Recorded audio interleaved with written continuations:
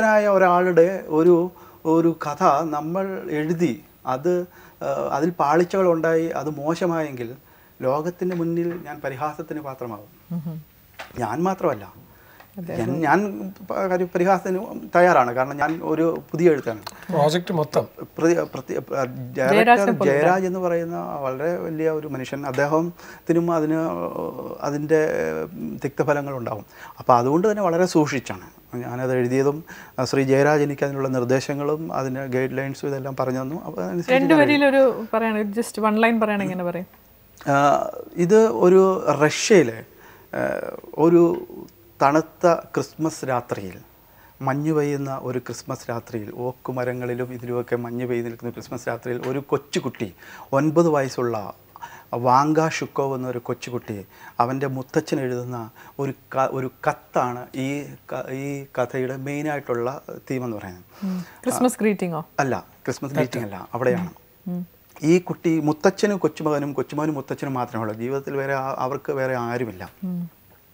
ചില പ്രത്യേക സാഹചര്യങ്ങൾ കൊണ്ട് മുത്തച്ഛന് ഈ കുട്ടിയെ അയാളുടെ കൂട്ടത്തിൽ താമസിപ്പിക്കാൻ അദ്ദേഹത്തിന്റെ കൂട്ടത്തിൽ താമസിക്കാൻ പറ്റാത്തത് കൊണ്ട് തന്നെ റഷ്യ റഷ്യയെ അവിടെ റഷ്യയിലെ ഒരു ഗ്രാമത്തിലായിരുന്നു ഇവർ ജീവിച്ചുകൊണ്ടിരുന്നത് ഇവിടെ നിന്നും റഷ്യയിലേക്ക് വിടുകയും റഷ്യൻ ടൗണിലേക്ക് വിടുകയും അവിടെ ഒരു ഷൂ മേക്കറുടെ കീഴിൽ ഇവൻ ജോലിക്ക് ഇവനെ വിടുന്നതാണ്. ചെറിയ കുട്ടി ചെറിയ കുട്ടി. മൂന്ന് മാസത്തെ അപ്രന്റീസിനെ പണി പഠിക്കാൻ വേണ്ടിയിട്ട് വിടുന്നതാണ്. പക്ഷേ അവിടെ അവന് അതിക്രൂരമായ പീഡനങ്ങൾ ഏറ്റുവാങ്ങുകയും ഒൻപത് വയസ്സിൽ ആ കുട്ടിക്ക് താങ്ങാൻ വയ്യാത്തത്ര ജോലി ഇവനെ ഏൽപ്പിക്കുകയും അയാൾ ആ വീട്ടിലെ അല്യാനോ എന്ന് പറയുന്ന ആ ഷൂ മേക്കർ ഷൂ മേക്കറും അദ്ദേഹത്തിന്റെ ഭാര്യയും ഇവനെ ക്രൂരമായി മർദ്ദിക്കുകയൊക്കെ ചെയ്യും. ഇവന് ഭക്ഷണം കൊടുക്കത്തില്ല. ഇവന് ഉറങ്ങാൻ ഇവന് സ്ഥലമില്ല. റഷ്യയിലേക്ക് തണുപ്പെന്ന് പറഞ്ഞൊന്ന് ആലോചിക്കുക ഇവന് കമ്പിളി പുതപ്പുകൾ പോലും ഒന്നില്ല അങ്ങനെ അവൻ തണുത്ത് വിറങ്ങലിച്ച് നിൽക്കുമ്പോൾ അവൻ ഒൻപത് വയസ്സ് വരെ അവൻ ജനിച്ചു വളർന്ന അവന്റെ ഗ്രാമം അവന്റെ ചുറ്റുപാടുകളെ അവന്റെ കുട്ടി അവന്റെ കുട്ടിക്കാലം ഇതെല്ലാം അവന്റെ മനസ്സിൽ കൂടി ഇങ്ങനെ കടന്നുപോവുകയാണ് അപ്പോൾ അവൻ അവന്റെ മുത്തച്ഛൻ എഴുതുന്ന എഴുത്താണ്. മുത്തച്ഛന്റെ പേര് കോൺസ്റ്റാന്റിൻ മക്കറച്ച്. എന്റെ പ്രിയപ്പെട്ട മുത്തച്ഛ എനിക്ക് ഇവിടെ ഒരു നായുടെ വില പോലും ഇവർ തരുന്നില്ല. എന്നെ ഇവർ ഉപദ്രവിക്കുകയാണ്. എന്നെ അടിക്കുകയാണ് മർദ്ദിക്കുകയാണ്. അപ്പോൾ എന്നെ തീർച്ചയായും ഇവിടെ ഒന്ന് കൊണ്ടുപോകണം. ദയവ് ചെയ്ത് എന്നെ വന്ന് കൊണ്ടുപോകണം. ഞാൻ മുത്തച്ഛന്റെ കാൽ പിടിച്ച് കരയുകയാണ് എന്നൊക്കെ പറഞ്ഞ് ഇവനെ എഴുത്തെഴുതും. ആ ഒരു കത്തെന്ന് പറയുന്നത് തന്നെ ആന്റൺ ചെക്കോ വളരെ ആർദ്രമായ ഒരു കഥയാണ്. നമുക്ക് ടച്ച് ചെയ്യും. അപ്പോൾ അങ്ങനെയുള്ള ഒരു കത്ത് എഴുതിയിട്ട് ഇവനോട് ആ വീട്ടിലെ ഒരു ബാല്യക്കാരൻ പറയും നീ ഈ കത്ത് എഴുതി വല്യപ്പച്ചന്റെ പേര് എഴുതി ഗ്രാമം എന്ന് എഴുതിയിട്ട് ഗ്രാമത്തിന്റെ പേര് എഴുതി പോസ്റ്റ് ബോക്സിൽ നിക്ഷേപിച്ച് കഴിഞ്ഞു കഴിഞ്ഞാൽ നിന്റെ വലിയപ്പച്ചൻ വന്ന് നിന്നെ കൊണ്ടുപോകും നിന്റെ ഇഷ്ടമുള്ള ഗ്രാമത്തിലേക്ക് പോകാമെന്ന് പറയും. ഈ പാവം കുട്ടി അത് വിശ്വസിച്ചിട്ട് എഴുത്തെഴുതി എന്റെ പ്രിയപ്പെട്ട വലിയപ്പച്ചൻ വല്യപ്പച്ചന്റെ പേരും എഴുതി ഗ്രാമത്തിന്റെ പേരും എഴുതി പോസ്റ്റ് ബോക്സിൽ നിക്ഷേപിച്ചിട്ട് കിടന്നുറങ്ങുകയാണ്. ഈ തണുത്ത് വിറങ്ങലിച്ച് ഈ ഒരു ഫ്ലോറിൽ കിടന്ന് ഇവൻ ഉറങ്ങുമ്പോൾ ഇവൻ സ്വപ്നം കാണുകയാണ്.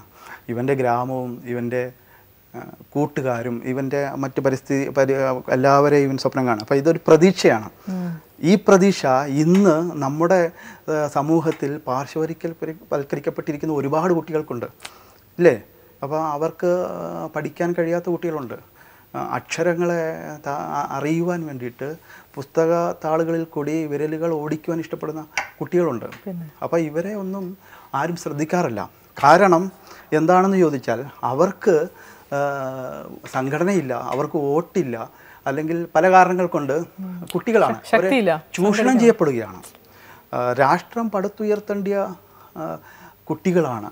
അവരാണ് ഒരു രാഷ്ട്രത്തിനെ പടുത്തുയർത്തുന്നത്. അവരാണ് ഇന്ന് പല കാരണങ്ങൾ എല്ലാ കുട്ടികളുടെയും കാര്യമല്ല ഞാൻ പറയുന്നത് ഇങ്ങനെ ഒറ്റപ്പെട്ടു പോകുന്ന ഒരുപാട് കുട്ടികൾ. ഇപ്പോൾ ഈ നേപ്പാളിൽ സംഭവിച്ചതും അത് ഇതിനൊക്കെ അതിന്റെ അതിന്റെ വിക്ടിംസ് ആകാൻ പോകുന്ന കുട്ടികളാണ്. ഇതേപോലെ തന്നെ നമ്മുടെ നമ്മുടെ കേരളത്തിൽ തന്നെയാണെങ്കിൽ ഈ പോവർട്ടി ലൈനിന് താഴെയുള്ള പാവം രക്ഷകർത്താക്കളുടെ മക്കൾ അവർക്ക് നിർബന്ധിതരായിട്ട് അവരെ വിടുകയാണ്. പടക്ക കമ്പനികളിലും ഓട് ഫാക്ടറികളിലും ഖനികളിലും പിന്നെ വള ഫാക്ടറികളിലും ഇങ്ങനെ ബാല്യം ഇങ്ങനെ ബാല്യം നഷ്ടപ്പെടുകയാണ്. അപ്പം ഈ ബാല്യം നഷ്ടപ്പെട്ട് അലഞ്ഞു തിരിയുന്ന ഈ കുട്ടികൾ ഇന്ന് ലോകത്തെമ്പാടുമുണ്ട്. Nook and corner of the world അവിടെ എല്ലായിടത്തും ഇതുണ്ട്. അപ്പം ഇതിനെതിരെ അതിശക്തമായ നിയമങ്ങൾ ലോകത്താകമാനം വരുന്നുണ്ട്. നമ്മുടെ ഇന്ത്യയിൽ തന്നെ നിയമമുണ്ട്. The right to children for free education and free and compulsory education എന്ന് പറഞ്ഞ പാർലമെന്റിൽ പാസ്സാക്കിയ നിയമമുണ്ട്. പക്ഷേ അതിവിടെ പാലിക്കുന്നുണ്ടോ. പതിനാല് വയസ്സ് വരെയുള്ള കുട്ടികൾ അവർക്ക് തീർച്ചയായിട്ടും അവർക്ക് വിദ്യാഭ്യാസം നിർബന്ധിതമാക്കണം. അത് ഗവൺമെന്റിന്റെ ഉത്തരവാദിത്തമാണ്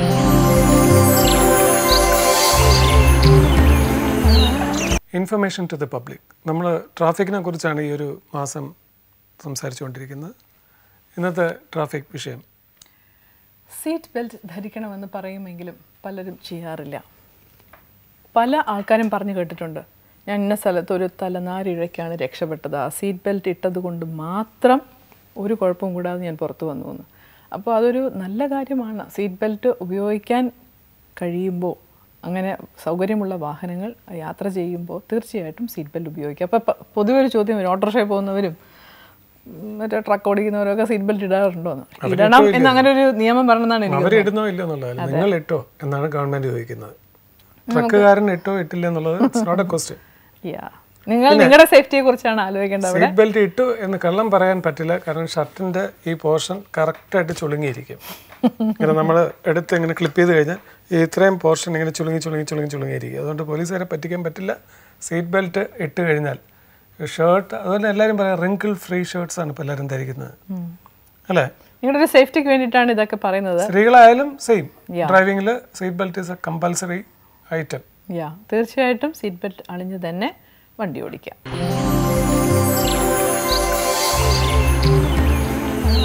ഞാൻ റെസ്റ്റോറന്റിൽ ചെന്നപ്പോൾ ഒരു പന്ത്രണ്ട് വയസ്സായ ഒരു ബാലിക. ബാലിക ബാലിനുമാണ് മസാല ദോശ കൊണ്ടുവച്ചു അവിടെ ഇരുന്ന കസ്റ്റമർ എണീറ്റ് പുള്ളി പറഞ്ഞു എനിക്ക് വേണ്ട ഓർഡർ ക്യാൻസൽ ചെയ്ത്. അപ്പോൾ കോണർ ചോദിച്ചു അതെന്താ സാർ ഒരു കൊച്ചു കുട്ടിയെ കൊണ്ട് സെർവ് ചെയ്യിപ്പിച്ചിട്ടുള്ള ഒരു ഫുഡ് ഞാൻ ബഹിഷ്കരിച്ചു. അങ്ങനെയുള്ള ഉള്ള രാജ്യത്താണ് നമ്മൾ ജീവിക്കുന്നത്. അവരെ കൊണ്ട് പറഞ്ഞു പഠിപ്പിക്കാം. പതിനെട്ട് വയസ്സായെന്ന് ആര് ചോദിച്ചാലും പറയാൻ പഠിപ്പിക്കാം. കുട്ടികളാണ് തറ തുടക്കുന്നതും ടേബിൾ തുടക്കുന്നതൊക്കെ ആ സി എന്റെ അഭിപ്രായത്തിൽ പറഞ്ഞു we are not worthy of being citizens of this twenty first century ഇല്ലേ? നമ്മളൊന്നും ഇതൊന്നും കാണുന്നില്ല. നമ്മളൊന്നും. നടക്കുന്നത് കാണുന്നില്ല. നമ്മൾ കണ്ടാൽ തന്നെ നമ്മൾ പ്രതികരിക്കാതെ പോവുകയാണ്. എനിക്ക് എന്റെ വിഷയമല്ല. ആലിംഗനത്തിനും ചുംബനത്തിനും വേണ്ടിയിട്ട് ആൾക്കാരെ സംരക്ഷിക്കുന്നത് അതിനെക്കുറിച്ച് ഞാൻ കൂടുതൽ പറയുന്നില്ല. കോൺട്രവേഴ്സിലോട്ട് പക്ഷേ അതിന് കൊടുക്കുന്ന ഒരു ഇമ്പോർട്ടൻസ് കൊടുക്കുന്നില്ല. നമ്മളിപ്പോ നമ്മൾ കൊച്ചിനിലാണ് നിൽക്കുന്നത്. ഇപ്പോൾ ഒരു കാഴ്ചപ്പാടിൽ ഇപ്പോൾ എനിക്ക് ദുബായെ കുറിച്ചോ വേറെ മറ്റ് രാജ്യങ്ങളെക്കുറിച്ചോ ഒന്നും എനിക്ക് കമന്റ് ചെയ്യാനായിട്ടുള്ള ഒരു അധികാരമില്ല. പക്ഷെ ഞാൻ കണ്ട കാഴ്ച നമ്മൾ ജംഗ്ഷനിൽ സിഗ്നൽ ലൈറ്റ് നടക്കുമ്പോൾ നൂറ്റി മുപ്പത് സെക്കൻഡ് അല്ലെങ്കിൽ നൂറ്റി നാൽപ്പത് സെക്കൻഡ് ഈ സിഗ്നൽ ലൈറ്റിന്റെ ഇടയ്ക്ക് ഒരുപാട് ബംഗാളി പിള്ളേർ സാധനം വിൽക്കാൻ വേണ്ടി കൊണ്ടുവരുന്നുണ്ട്. എന്തുകൊണ്ട് കേരള പോലീസ് അത് നിരോധിക്കുന്നില്ല? പോലീസ് അല്ലേ സർക്കാരാണ്. ഇവരെ മാറ്റി- നിർത്തണം. അതാണ്. അവിടെയാണ് നമ്മൾ ഞാൻ കാണുന്ന ബാലിശമായ കാര്യമാണ്. നമ്മുടെ. ഭരണകൂടങ്ങൾ പലപ്പോഴും ഇത്തരം കാര്യങ്ങളിൽ നിന്ന് മുഖം തിരിഞ്ഞു നിൽക്കുകയാണ്. ഇത് ഭരണകൂടത്തിന്റെ ഉത്തരവാദിത്തമാണ്. അവരെ അതിന് പകരം ചെയ്യുന്നുണ്ടെങ്കിൽ അത് പേരൻസിന്റെ തലയിലേക്ക് വെച്ചിരിക്കുകയാണ്. പേരൻസിന്റെ ഉത്തരവാദിത്തം. അപ്പൊ പേരൻസ് ഇല്ലാത്ത കുട്ടികളെ കാണിച്ച് ഭിക്ഷാടനം നടത്തുക. പേരൻസും പേരൻസ് കൂടെ ഇല്ലാത്ത ചേർന്നാണ് പേരൻസും കൂടെ ചേർന്നാണ്. ഉം. ആ, അപ്പൊ അങ്ങനെയുള്ള കാരണം ഇങ്ങനെയുള്ള കുട്ടികളെ ഒരിക്കലും അത് ചെയ്യുന്ന കണ്ടു കഴിഞ്ഞാൽ അന്നേരം നിയമത്തിന്റെ ഇത് ശക്തി ഉപയോഗിച്ച് അവരെ അവർക്കെതിരെ ചാർജ് ചെയ്യേണ്ടതാണ്. അവരെ മാറ്റണം മാറ്റണം. ഇത് കാരണം എന്താണെന്ന് പറഞ്ഞാൽ ഇത്തരം കുട്ടികളാണ് ഭാവിയിൽ മാഫിയ സംഘങ്ങളായി മാറുന്നതും കാരണം അവരെ ആ രീതിയിലേക്കാണ് കൊണ്ടുപോകുന്നത്. ഈ കഞ്ചാവ് അല്ലെന്നുണ്ടെങ്കിൽ ചരസ് ഇതേപോലുള്ള ലഹരി മരുന്നിന്റെയൊക്കെ വാഹകന്മാരാക്കി മാറ്റുന്നത് ഈ സമൂഹം അങ്ങനെ പിന്നെ അവനെ ഗുണ്ട ആക്ട് പ്രകാരം മറ്റേ ആക്ട് മറിച്ച ആക്ട് ഇതൊന്നും പറഞ്ഞിട്ട് കാര്യമില്ല. എന്തുകൊണ്ടല്ലേ റൂട്ട് കോസ്? എന്തുകൊണ്ടാണ് അവൻ അങ്ങനെ ആയി തീർന്നത് അങ്ങനെ എന്തുകൊണ്ട് മാറ്റുന്നില്ല? ജോഷി പറയുന്നത് ഒരു നമുക്ക് നമ്മുടെ തലമുറയ്ക്ക് ഒരു ഉത്തരവാദിത്വമുണ്ട്. ഉത്തരവാദിത്വമുണ്ട്. നമ്മൾ സാഹിത്യകാരന്മാർക്കുണ്ട് കലാകാരന്മാർക്കുണ്ട്. മതമേധാ മേധാവികൾക്കുണ്ട് എല്ലാവർക്കും ഉണ്ട് രാഷ്ട്രീയക്കാർക്കുണ്ട് പക്ഷേ നമ്മളെല്ലാം എന്താ പറഞ്ഞ ആത്മ ആത്മനിർവൃതിയാണ്. നമ്മൾ നമ്മളെ തന്നെ സ്നേഹിച്ച് ജീവിക്കുകയാണ്. കൈലാസ സത്യാർത്ഥി എന്ന് പറയുന്ന വലിയ മനുഷ്യൻ പറഞ്ഞൊരു വാക്കുണ്ട്. We have the poverty of we sorry we have the poverty of will and the poverty of rights to the children sorry ഞാൻ അതിന്റെ We have the power, അല്ല? We have the poverty of will and the and the poverty of our interest എന്ന് പറഞ്ഞൊരു ഒരു statement വരുന്നുണ്ട്. ദാരിദ്ര്യമാണ്. നമുക്ക് ആ വില്ലിനുള്ള ഒരു ദാരിദ്ര്യം. അതാണ് ഉദ്ദേശിക്കുന്നത് പ്രവാസി ഒരു മലയാളി ആയതുകൊണ്ട് വല്ലപ്പോഴെങ്കിലും കേരളത്തിലോ അല്ലെങ്കിൽ നമ്മുടെ നാട്ടിൽ വരുമ്പോൾ കാണുന്ന ചിലരുടെ കാഴ്ചപ്പാടുകൾ കാണുമ്പോഴാണ് നമ്മൾ പ്രതികരിക്കുന്നത്. ഞാൻ കണ്ടതാണ് ഒരു ജംഗ്ഷനിൽ പാവപ്പെട്ട ഒരു കുട്ടി ഒരു സൺഷെയ്ഡ് മറയ്ക്കാനായിട്ടുള്ള സാധനവും കൊണ്ട് വിൽക്കാൻ നടക്കുന്നു. എല്ലാവരും നിരാകരിച്ചു വിടുകയാണ്. വേണ്ട വേണ്ട വേണ്ട വേണ്ട. ഈ ഓരോ പ്രാവശ്യം വേണ്ട പറയുന്നതും ആ ജീവിതത്തിലുള്ള സെറ്റ് ബാക്കാണ് അതെ അതെ അതെ. അതേസമയം വേറൊരു കാർ വന്നിരിക്കുന്നു. വളരെ സമ്പന്നമായ ഒരു കാറ് ഈ കാർ. അതിനകത്ത് നിന്ന് ഗ്ലാസ് താത്തിയിട്ട് പുള്ളി മറ്റേ കാറുകാരനോട് ചോദിക്കുകയാണ്. സാറിന്റെ മാസ്റ്റർ കാർഡ് ഒന്ന് തരുമോ ഞാൻ ഇന്ന സ്ഥലത്ത് പോയിട്ട് പർച്ചേസ് ചെയ്തിട്ട് തിരിച്ച് ഞാൻ ക്യാഷ് കൊണ്ട് തരാം. ഞാൻ ഇന്ന് പേഴ്സ് എടുത്തില്ല. High society is begging to high society. വേറെ ലോവർ സൊസൈറ്റിയിലുള്ളവർക്ക് ജീവിക്കാനുള്ള നിവൃത്തി പോലും ഗവൺമെന്റ് ചെയ്യുന്നില്ല. ചെയ്യുന്നില്ല. ഗവൺമെന്റ് തന്നെയാണ് ഇതിനകത്ത് പറയുകയല്ല. കാരണം എന്താ പറയാ ഇത് താങ്കൾക്ക് നാഷണൽ അവാർഡ് കിട്ടുമ്പോൾ മാത്രം ചർച്ച ചെയ്യപ്പെടേണ്ട ഒരു ടോപ്പിക് അല്ല. അല്ല അല്ല തീർച്ചയായിട്ടും. യു ആർ എക്സ്ട്രീംലി റൈറ്റ് കാരണം ഇനി ഇനി ഒരു കാലത്ത് താങ്കൾ നാഷണൽ അവാർഡ് വാങ്ങിച്ച് അതിനുശേഷം നിങ്ങൾ ഇനി എത്രയോ പബ്ലിക് പെർഫോമൻസ് ചെയ്യാറുണ്ട്. യു ഹാവ് ടു സ്പീച്ച് തീർച്ചയായിട്ടും. എന്റെ അഭിപ്രായത്തിൽ ഇങ്ങനെയുള്ള ചിന്തകൾ കൂടി സിനിമയിൽ കൂടി ഈ കലാകാരന്മാർ എഴുത്തുകാരാണെങ്കിലും പാട്ടുകാരാണെങ്കിലും മറ്റേത് മേഖലയുള്ളവരാണ് കൊണ്ടുവരേണ്ടതാണ്. അല്ലാതെ നമ്മൾ സിനിമ എന്ന് പറയുന്നത് വെറും എന്റർടൈൻമെന്റ് മാത്രമാണ്. തുടക്കം ആയിക്കോട്ടെ ഒരു പക്ഷേ അങ്ങനെ ആയിരിക്കാം. പരിണാമത്തിന്റെ ഒരു തുടക്കമായിരിക്കും. കാരണം നമ്മൾ എല്ലാവർക്കും ഞാൻ പൈസ കൊടുക്കുന്ന അമ്പത് രൂപ അല്ലെങ്കിൽ അറുപത് രൂപ ഞാൻ കൊടുക്കുന്നു. എനിക്ക് ഒരു എന്റർടൈൻമെന്റ് വേണം. അതാണ്. അങ്ങനെയുള്ള ചിന്തകളിലേക്ക് നമ്മൾ പോവുകയാണ്. ഒരു സംസ്കാരത്തെ ഉണ്ടാക്കുവാനും നശിപ്പിക്കുവാനും കലാകാരന്മാർക്ക് കഴിയും. അപ്പോൾ ആ ഒരു സംസ്കാരം സോഷ്യൽ കമ്മിറ്റ്മെന്റിനെ കുറിച്ചാണ് ജോഷി പറയുന്നത്. അല്ലെ ഒരു ആർട്ടിസ്റ്റിന് ഉണ്ടാവേണ്ട ഒരു സോഷ്യൽ കമ്മിറ്റ്മെന്റ് ആണ്. അതുകൊണ്ട് തന്നെയാണ് ഞാനാണെങ്കിലും ജയരാജ് ആണെങ്കിലും മിസ്റ്റർ ജയരാജ് ആണെങ്കിലും ഇങ്ങനെ ചിന്തിക്കാനുള്ള കാരണം. കാരണം നമ്മൾ വെറുതെ ചുമ്മാ ഇത് മാത്രം ചെയ്തിട്ട് കാര്യമില്ല. അതിൽ കൂടി ചിന്തിക്കാനുള്ള ഉന്നതമായ ചിന്തകളുടെ ചെറിയ തീപ്പൊരികൾ മനുഷ്യന്റെ മനസ്സിലേക്ക് വാരി വിതരണം എങ്കിൽ മാത്രമേ ചിന്തിക്കത്തുള്ളൂ. അല്ലാതെ നമ്മൾ കുറേ സിനിമകൾ കണ്ടു കുറേ ഡാൻസ് കണ്ടു അല്ലെങ്കിൽ ഇത് കണ്ടു ഇത് കണ്ടു അങ്ങനെ പോയി കഴിഞ്ഞു കഴിഞ്ഞാൽ നമ്മൾക്കിപ്പോൾ സംഭവിച്ചുകൊണ്ടിരിക്കുന്നത് ഞാനിപ്പോൾ മുമ്പ് പറഞ്ഞ ആത്മ നമ്മൾ ആത്മദാരിദ്ര്യം അനുഭവിച്ചുകൊണ്ടിരിക്കുകയാണ് നമ്മളെ ബാധിക്കുന്ന പ്രശ്നങ്ങൾ വരെ നമ്മൾ അത് വളരെ എന്താ പറയുന്ന സിനിമകളിൽ അല്ലെങ്കിൽ മറ്റ് ചർച്ചകളിൽ കൂടി ഹാസ്യരൂപേണ നമ്മൾ കണ്ടുകൊണ്ടിരിക്കുക. ആ പ്രശ്നം നമ്മളെ കൂടെ ബാധിക്കണം നമ്മൾ പക്ഷേ അത് കണ്ട് ചിരിച്ചു തള്ളുകയാണ്. പൊതുധാരയിലേക്ക് കൊണ്ടുവരേണ്ട പല പ്രശ്നങ്ങളും നമ്മൾ അതിനെ ഒരു ഒരു തമാശ രൂപത്തിൽ കണ്ട് ചിരിച്ചു തള്ളുകയാണ്. അതുകൊണ്ടാണ് പലപ്പോഴും സീരിയസ്നെസ് എല്ലാ വശത്തും നഷ്ടപ്പെട്ടു പാട്ടിന്റെ കാര്യത്തിലാണെങ്കിലും സിനിമയുടെ കാര്യത്തിലാണെങ്കിലും എല്ലാ കാര്യത്തിലും ഒരു പരിധി വരെ നഷ്ടപ്പെട്ടിരിക്കുകയാണ്. ഞാൻ ഇത്രയും കാര്യങ്ങളൊക്കെ പറയുന്നത് ഞാൻ വലിയൊരാളായതുകൊണ്ടൊന്നുമല്ല അത് ഒരു തന്നെയാണ്. ഒരു പ്രവാസി ആയതുകൊണ്ടാണ് നമ്മൾ ഇതേപോലെ ചിന്തിക്കുന്നത്. നമുക്ക് വളരെ ഇത് നമുക്ക് എന്താ ഒരു പിറ്റി തോന്നുകയാണ്. പുറത്തു നിന്ന് നമ്മുടെ ഈ കേരളത്തിൽ എന്തൊക്കെയാണ് നമ്മുടെ കേരളത്തിൽ നടക്കുന്നത് എന്നൊക്കെയുള്ള ചിന്തകൾ വരും. അപ്പോൾ ചിലർ പറയുമോ അയാൾ ഉണരുക. ഇതൊരു തിരിച്ചറിവാണ്. തിരിച്ചറിയേണ്ട ഒരു സമയം തന്നെയാണ്. കേരളത്തിന്റെ ഏറ്റവും വലിയൊരു ഒരു സൃഷ്ടിയുടെ വൈഭവം എന്ന് പറയുന്നത് നമ്മളെല്ലാം അക്സെപ്റ്റ് ചെയ്യും. അതെ. നമ്മൾ അറബി പാട്ട് കേൾക്കും മുഹമ്മദ് റാഫിയുടെ പാട്ട് കേൾക്കും മറ്റു രാജ്യങ്ങൾ ആസാമി പാട്ട് കേൾക്കും എന്ത് ഹിറ്റ് ഉണ്ടെങ്കിലും നമ്മൾ സ്വീകരിക്കും. പക്ഷെ കേരളത്തിലുള്ള ഒരു പ്രോഡക്റ്റ് ബോർഡർ വിട്ടാൽ ആരും കേൾക്കത്തില്ല. അതെ അതെ അതെ. തീർച്ചയായിട്ടും കേരളം ഒരു എല്ലാ സൃഷ്ടികളെയും സ്വീകരിക്കുന്ന മനസ്സുണ്ട്. പക്ഷെ കേരളം പുറത്തു പോയി കഴിഞ്ഞാൽ കേരളത്തിനെ കുറിച്ച് ആർക്കും അറിയത്തില്ല. ആർക്കും അറിയത്തില്ല. കറക്റ്റ് ആണ്. കാരണം ഇപ്പൊ പഞ്ചാബിലുള്ള ഒരാൾ കേരളത്തിലെ മലയാളം എം ജി ശിവകുമാറിന്റെ യേശുദാസിന്റെ പാട്ട് കേൾക്കത്തില്ല. മലയാളം പാട്ട് കേൾക്കൂ. കേൾക്കുന്നില്ല. Why because no cancer answer is വലിയ നോ വലിയ വലിയ നോ പക്ഷെ നമുക്ക് വളരെ വളരെ നമുക്ക് വളരെ പ്രൗഡായിട്ട് പറയാൻ കഴിയുന്നത് നമുക്കുള്ള നമ്മുടെ വർക്ക് അത് ഈ നമ്മുടെ യുവജനങ്ങൾ വർക്ക് ഫോഴ്സ് എന്ന് പറയുന്ന വളരെ കാലിബറായിട്ടുള്ള വളരെ തന്റെടമുള്ള കുട്ടികളാണ് നമുക്കുള്ളത്. പക്ഷേ ഇവരെല്ലാവരും ഇന്ന് ഇപ്പോൾ കുട്ടികളുടെ കാര്യം തന്നെ എടുത്തു നോക്കിക്കോളൂ. കുട്ടികളെ ചൂഷണം ചെയ്യുക എന്ന് പറഞ്ഞാൽ ഈ ചൂഷണം മാത്രമല്ല മെന്റലി ചൂഷണം ചെയ്യുന്നുണ്ട്. മെന്റലി ചൂഷണം ചെയ്യുക എന്ന് ഞാൻ പറയാൻ കാരണം അല്ല അത് ഞാൻ വേറെ രീതിയിലാണ് പറഞ്ഞത്. കാരണം ഇന്ന് നമ്മൾ എന്റെയൊക്കെ കുട്ടിക്കാലത്ത് ഞാൻ അവധി കാലഘട്ടങ്ങളിൽ പാടപ്പറമ്പുകളിലും പള്ളിപ്പറമ്പുകളിലൊക്കെ പോയി ഫുട്ബോൾ കളിക്കുമായിരുന്നു ഓടിക്കളിക്കുമായിരുന്നു കാലുകൊണ്ട് ഫുട്ബോൾ കളിച്ചിരുന്ന അതേ ഇത് ഇന്ന് കുട്ടികൾ സ്വീകരണ മുറിയുടെ അകത്തളങ്ങളിലിരുന്ന് എക്സ്ബോക്സും വീഡിയോ ഗെയിംസും ഇതൊക്കെ കണ്ട് കളിക്കുകയാണ്. അവർക്ക് ഇത് ആരാണ് ഉണ്ടാക്കി കൊടുക്കുന്നത്? അവരുടെ സ്വാർത്ഥ താല്പര്യമാണ് ഞങ്ങൾക്ക് പൈസ ഉണ്ടാക്കണം. അതിനുവേണ്ടി ഫുട്ബോൾ പോലെ കൈകൊണ്ട് കാലുകൊണ്ട് കളിച്ചിരുന്ന ഫുട്ബോൾ ഇന്ന് കൈകൊണ്ട് കളിക്കുകയാണ് കുട്ടികൾ. അവരുടെ അവർക്ക് ചിത്രശലഭങ്ങളെ വേണ്ട. അവർക്ക് ഗ്രാഫിക് ചിത്രശലഭങ്ങളുണ്ട്. അവർക്ക് പൂക്കളും വേണ്ട പഴങ്ങളും വേണ്ട ഒന്നും വേണ്ട. പക്ഷേ അച്ഛനും അമ്മയും വേണ്ട ഗ്രാഫിക്സ്.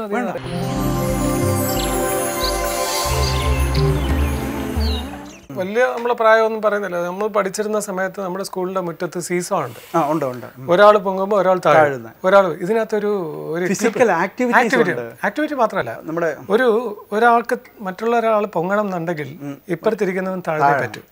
താഴെയുള്ള മനസ്സതി ഉള്ളതുകൊണ്ടാണ് മറ്റേ ആൾ പൊങ്ങിയത്. കറക്റ്റ് ഈ പൊങ്ങിയ ആൾ വിചാരിക്കുമ്പോ പൊങ്ങിയ ആൾ താഴ്ന്നാൽ മാത്രമേ കൂടെയുള്ള സഹപാഠി പൊങ്ങ താഴുമ്പോ ഇത് പൊങ്ങും. ഈ ഗെയിം ഇപ്പൊ ഇല്ല. ഇപ്പൊ കാറുകൾ തമ്മിലുള്ള മത്സരമുള്ള റേസിംഗ് ആണ്. എന്ന് വെച്ചാൽ എല്ലാം സ്പീഡാണ് അപ്പൊ ഞാൻ പറഞ്ഞു വന്നത് ഒരു നാഷണൽ അവാർഡ് വിന്നർ എന്നുള്ള നിലയ്ക്ക് താങ്കൾക്ക് ഇനി ഉത്തരവാദിത്വവും കിടപ്പാടും കൂടി കൂടി വരികയാണ്. ഒരു പ്രവാസി എന്നുള്ള ട്വന്റി ഇയേഴ്സ് ഓഫ് ലൈഫ് അതിൽ നിന്ന് താങ്കൾക്ക് കിട്ടിയ ഒരു പ്രചോദനം കൊണ്ട് ജയരാജനെ പരിചയപ്പെട്ട് തിരകഥ എഴുതി ആ തിരകഥ രചിച്ച ഒറ്റാൽ എന്നുള്ള ആ കൺസെപ്റ്റിന് ഗവൺമെന്റ് അല്ല പബ്ലിക് നൽകിയിരിക്കുന്ന വലിയൊരു ഉത്തരവാദിത്വമുണ്ട്. നാഷണൽ അവാർഡ് വിന്നർ താങ്കൾ ഇനി ഈ ചൈൽഡ് ലേബറിന് എന്ത് ചെയ്യാൻ സാധിക്കും? എന്ത് ചെയ്യാൻ ചൈൽഡ് ചൈൽഡ് ലേബർ എന്നുള്ള ഇഷ്യൂ എന്റെ ഒരു വളരെ വിനീതമായിട്ടുള്ള അഭ്യർത്ഥന. ഇപ്പോൾ ഇത് കേട്ടുകൊണ്ടിരിക്കുന്ന പ്രേക്ഷകരോടും കൂടിയായിട്ടാണ് ഞാൻ പറയുന്നത്.